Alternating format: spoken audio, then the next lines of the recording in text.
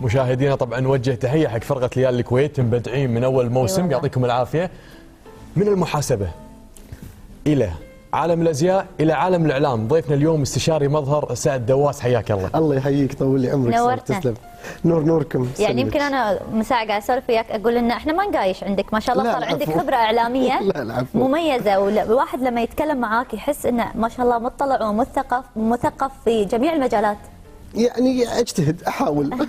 يعطيك العافية. كنت. أتكلم عن نقطة معينة. آه انتقلت من المجال الأزياء إلى مجال الإعلام.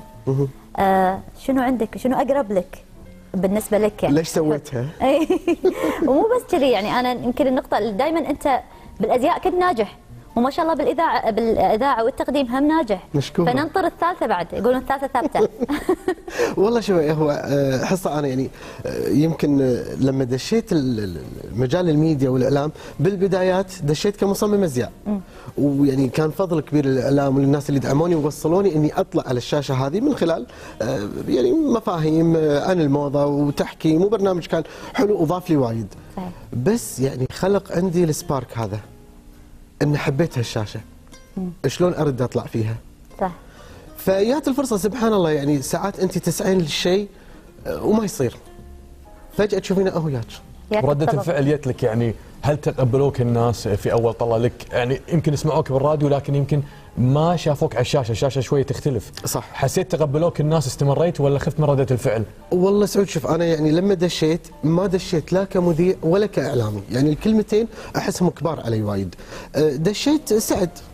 سعد أخوهم ولدهم صديقهم. كمقدم برامج يعني. آه، يعني مقيم لبرامج الموضة؟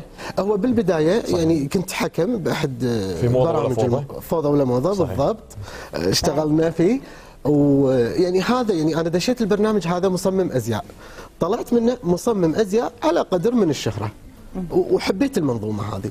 بعدين لما دشيت الإعلام ويمكن الإعلام ترى يمكن ما, ما خذاك الاعلام من تصميم الأزياء؟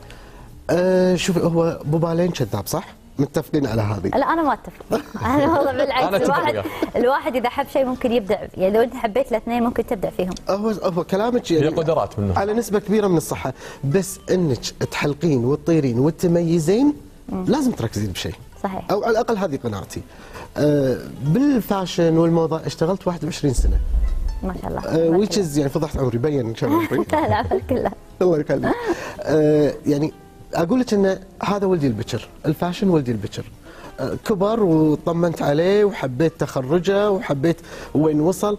الاعلام يعني لما دشيته حبيت ال ال ال يعني يمكن بال fashion لما دشيت الاعلام عرفوا سعد المصمم. صح. انت ما تحس إنهم مكملين لبعض؟ يعني أنت في مجال الأزياء ممكن الإعلام يدعم حبك. وتميزك في المجال ال- إيه، التصميم أكيد وال- أكيد وايد. وأنا. اول وأول ما دشيت مثل ما قلت لك طلعت المصمم اللي له شهرة. أعطاني الشهرة هذه اللي ما حققتها بال fashion بروحه لما دشيت الإعلام يعني وقمت أحاور بعض الضيوف خاصة إني دشيت يعني بوقت prime رمضان. ال- اللي هو الماراثون الإعلامي يعني حتى ترى كنت مرعوب. صح أول بس يوم مو ه- قاسي شوية مع الضيوف؟ يعني تعطيهم بالصميم يعني.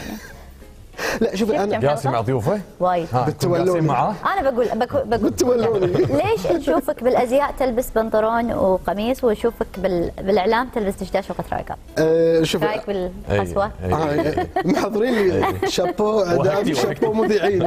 لا شوفي هو يعني دشيت الإعلام بوقت وتعرفين انه يعني إذا بتدشين كفاشن لازم تكون فاشنبل شوية. ترندي شوية. تعمدت أدش الإعلام بالشكل الكويتي 100% لأن يمكن حصه انت تعرفيني من قبل. أنا عندي هذه كويتيتي اللي وايد أحبها. صح.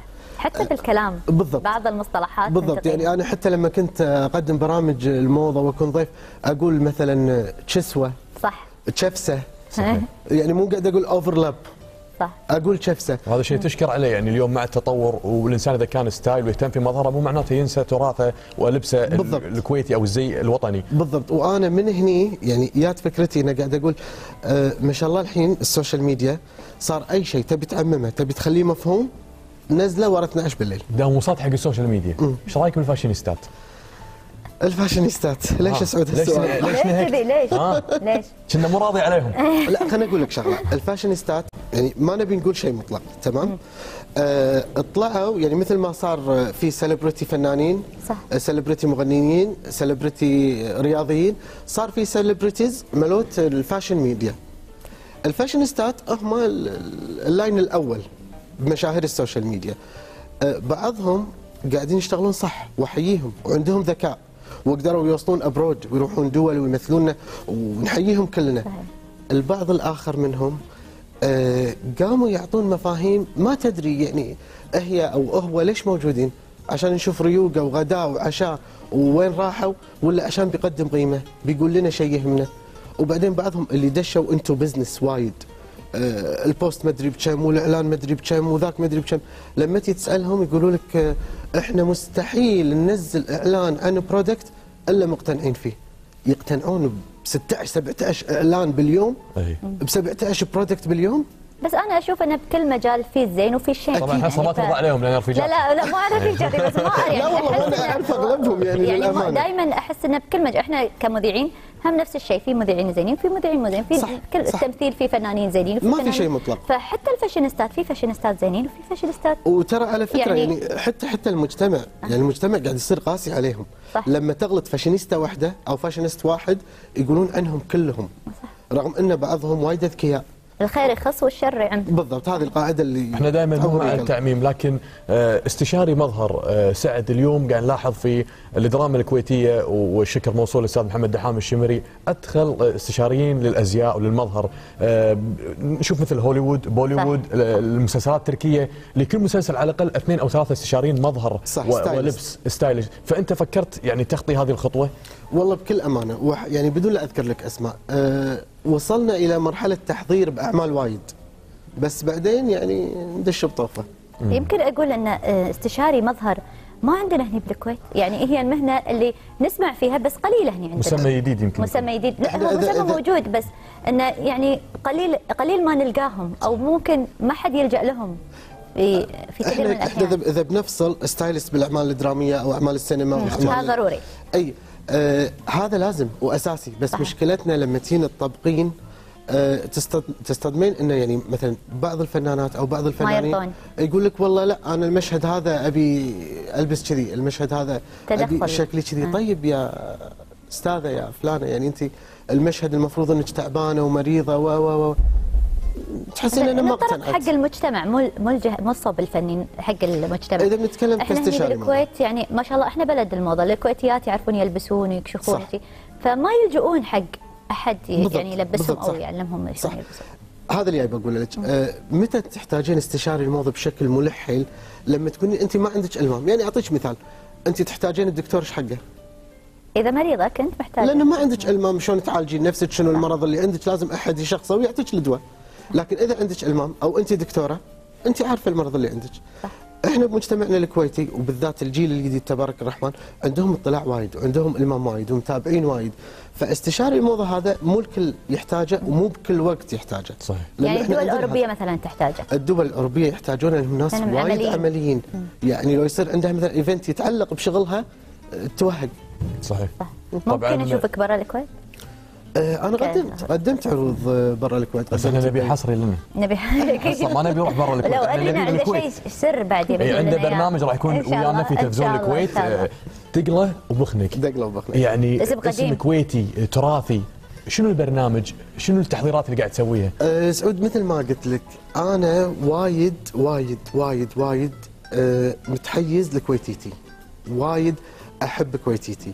أه صار الحين ترى وايد سهل. إنك تحط أو تسوي برنامج عن الموضة. تابع ال social media دش على عمو جوجل طلع آخر المستجدات صحيح. منتج صار برنامج. لكن إنك أتي حق برنامج. أنا ليش سميته دقله وبخنق من البداية؟ الاسم نفسه. حبيت أرمز إن ال- الاسم هذا أزياء. ترى تراثنا في أزياء حلوة. الدقلة إحنا أول من لبسها. بالخليج ككويت إحنا لبسناها. البخنق كانت تلبسها الياهل تلعب فيه.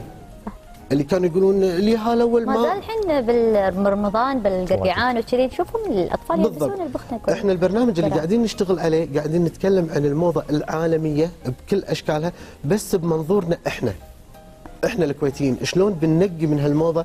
يعني دائما بالموضة يصير في بوب ابس يعني تلقين صرعة طلعت كذي وصار الكل يسويها. صرعه تكون مزعجة. صح مو لايقة لنا مو لايقة لبناتنا مو لايقة لعيالنا أو مو لايقة مثلا بالجامعات مو لايقة بالأماكن الرسمية. تشوفينها موجودة ومستمرة. من دقله وبخنق أوجه تحية كبيرة يعني لكل اللي قاعدين يشتغلون معاي. الأستاذ ثامر الأسمر الأستاذ يوسف سريع. وايد دعموني ووايد كان لهم دور بأنه يعني يوجهوني. متى إن شاء الله راح ينعرض؟ إن شاء الله راح يكون بدورة أبريل. إن شاء الله نتمنى لك. كل التوفيق. وأنت مميز. جمعت ما بين الإعلام والمحاسبة. والأزياء فكلهم مع بعض مشروع ناجح. الله يعطيك العافية. ونتمنى لك مزيد. ون- أح- ناطرين البرنامج على أحر من الجمر.